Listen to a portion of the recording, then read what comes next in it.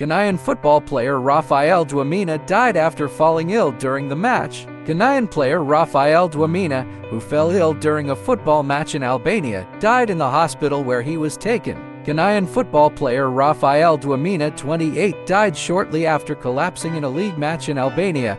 Dwamena could not be transferred to Brighton in the past due to his heart problem and was advised to quit football. In the statement made by Durrës Regional Police Department, it was stated that in the 23rd minute of the match between Egnatia and Partizani, 28-year-old Dwamena, who was wearing the Egnatia jersey, fell ill, fell to the ground, and lost consciousness. It was stated in the statement that Dwamena was taken to a hospital in the city of Kavalye after the first intervention of the medical teams in the field However, doctors stated that the 28-year-old person died. Information was given. It was stated that the prosecutor's office launched an investigation into the death of the football player. In the statement made by the Albanian Football Federation, it was noted that Dwamena could not be saved despite all the interventions of the medical teams. Following the incident, the federation announced that the matches planned to be played this weekend in the country were postponed.